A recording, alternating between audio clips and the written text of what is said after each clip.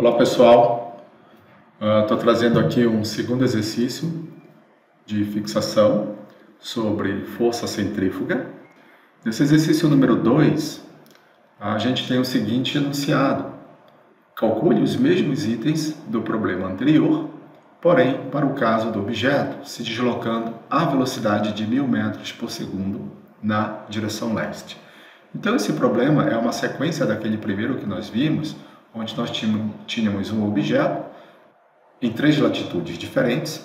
Esse objeto estava em repouso e aí o problema pedia para se determinar o valor, o valor do módulo da força centrífuga por unidade de massa. Então esse problema aqui é uma sequência do anterior, só que agora o objeto não está parado, não está em repouso, ele está em deslocamento na direção leste, nessas três latitudes diferentes.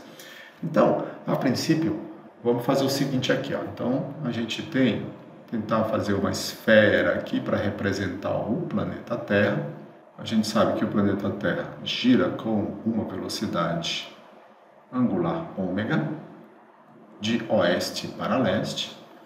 Vamos considerar aqui esse como sendo a latitude do Equador, essa como sendo a latitude do Equador, o centro da esfera aqui e o objeto nessa posição. Então, a distância do centro da esfera até o objeto vale A, onde A é o raio da Terra. Nesse caso, a Terra é considerada como uma esfera perfeita. E aí, o objeto está nessa posição, então a gente sabe, para um observador que está fora do planeta, se o objeto tivesse uma velocidade relativa igual a zero, então o observador ia ver que esse objeto estaria girando sobre essa latitude ou sobre essa origem x0, y0, z0 com a mesma velocidade que a Terra está também girando. Então a Terra estaria produzindo uma velocidade nesse objeto. Então para quem está olhando de fora não ia ver esse objeto parado, e sim em movimento. Só que agora o que acontece? A velocidade relativa do objeto, vou chamar de VR, é diferente de zero. Então, como é diferente de zero, esse objeto vai estar se deslocando a uma velocidade angular, a uma taxa de rotação maior do que a rotação da Terra. Então, para alguém que está fora dessa influência da rotação do planeta, vai ver que o objeto se desloca a uma velocidade maior do que a Terra, ou seja, ele está saindo do ponto x0, y0, z0, se afastando dessa origem à medida que o tempo passa. E aí, essa velocidade relativa que foi dada no problema é igual a mil metros por segundo.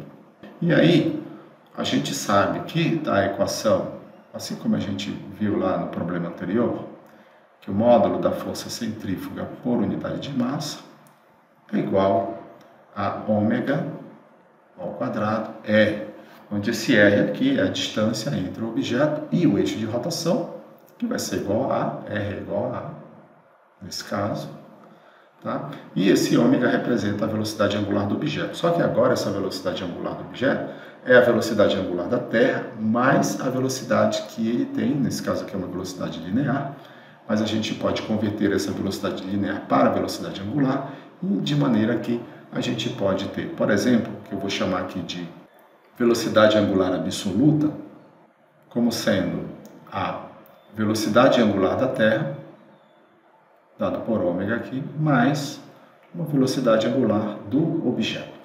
A gente pode então transformar essa velocidade linear do objeto em velocidade angular para, para estar somando essas duas velocidades angulares e achar a velocidade angular absoluta que é a velocidade angular da Terra mais a do objeto que está em deslocamento para leste. Então, essa soma aqui está me mostrando que essas duas velocidades angulares se somam. Né? Então, a Terra está girando de oeste para leste e o objeto está se deslocando na direção leste. Então, a gente está somando essas duas quantidades. De maneira que eu posso determinar primeiro a velocidade angular do objeto. Então, vai ser a velocidade linear dele, que eu estou chamando de velocidade relativa dividido pela distância entre o objeto e o centro aqui, ou eixo de rotação, que vale A. Então, Substituindo aqui esses valores, nessa expressão, a gente vai ter que a velocidade relativa do objeto, 10 a terceira metros por segundo ao quadrado,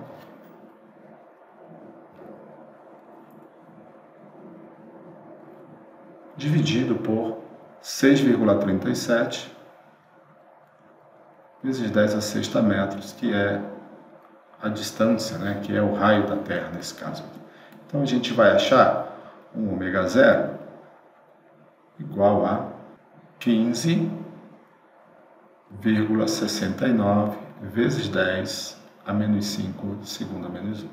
Então, para determinar aqui essa velocidade angular absoluta ou a velocidade angular total, a gente tem que ômega A é igual a 7,29 vezes 10 a menos 5 segundo a menos 1 mais 15,69 vezes 10 a menos 5 segundo a menos 1. Então, isso aqui vai te dar um ômega absoluto igual a 22,98 vezes 10 a menos 5 segundo a menos 1. Então, substituindo esse valor aqui nesta equação, a gente vai ter que força centrífuga por unidade de massa, módulo da força por unidade de massa, vai ser igual a ômega quadrado, esse ômega aqui, lembrando que é o ômega A, né? Ômega A ao quadrado, vezes o R, que é igual a 22,98 vezes 10 a menos 5, isso aqui é o quadrado, okay? vezes o R, onde o R é igual a A, e aí a gente tem que o A é igual a 6,37 vezes 10 a sexta metros. Então, resolvendo esse probleminha aqui, ó, você vai achar que a força centrífuga por unidade de massa, força centrífuga, o módulo da força centrífuga por unidade de massa, igual a alguma coisa da ordem de 0,33 metros por segundo ao quadrado. Ou seja, essa aqui é a aceleração centrífuga produzida pela força centrífuga. Eu vou chamar isso aqui de item A.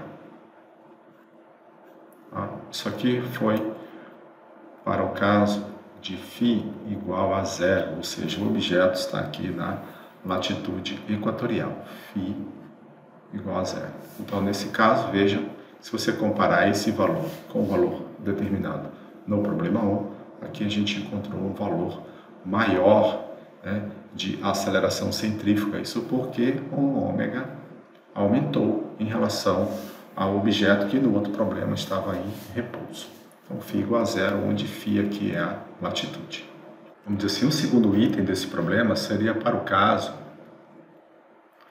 de uma latitude igual a 45 graus, ou seja, o objeto estaria na latitude de 45 graus e também com uma velocidade, uma velocidade relativa de mil metros por segundo na direção leste. Ou seja, se a gente fosse fazer o um esquema aqui, ó, um planeta esférico, tá, girando com uma velocidade angular ômega, que é a latitude equatorial, que seria o centro da esfera. Agora o objeto está aqui, ó, aproximadamente em 45 graus de latitude. Então esse fio aqui, igual a 45 graus. E aí o objeto iria circundar, vamos dizer assim, essa latitude aqui de 45 graus, com uma velocidade relativa igual a mil metros por segundo.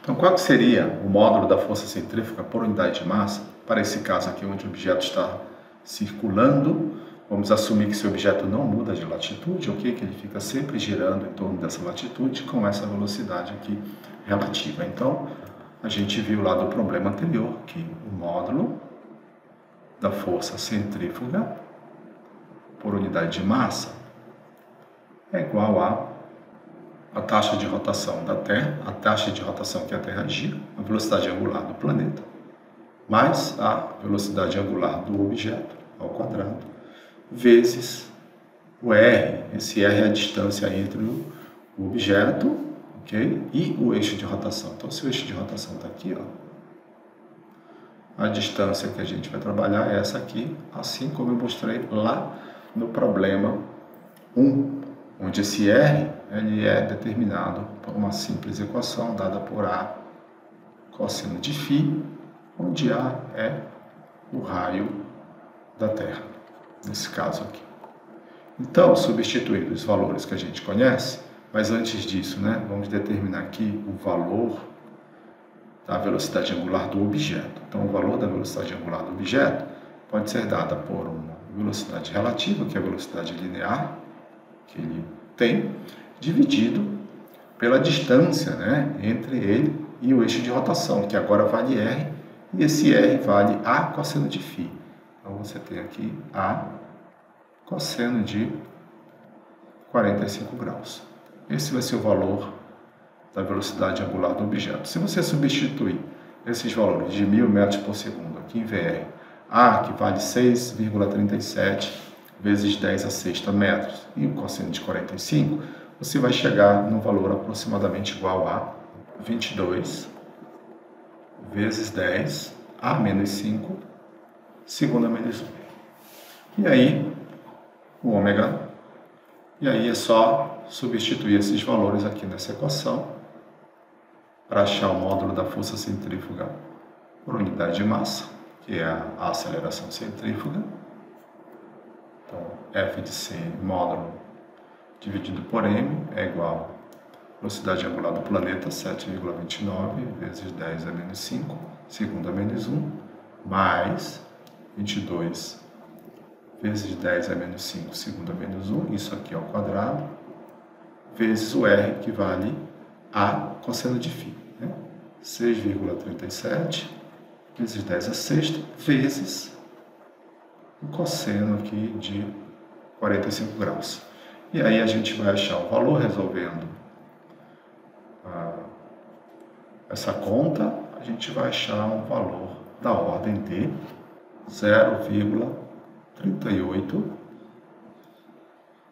metros por segundo ao quadrado.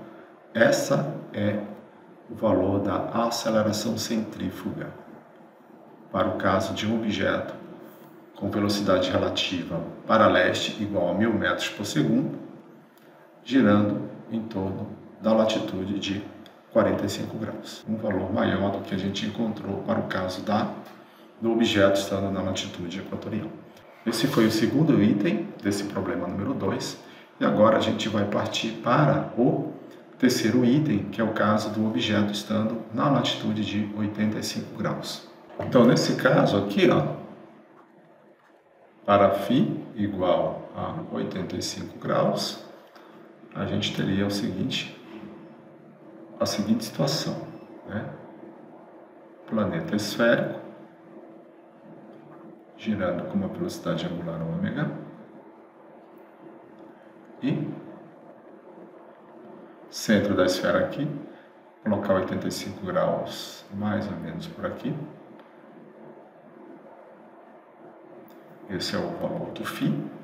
E a distância do objeto tá até o eixo de rotação vale esse R aqui que eu estou chamando. Tá? Onde esse R é igual a cosseno de φ, como a gente viu ali no problema, no problema anterior.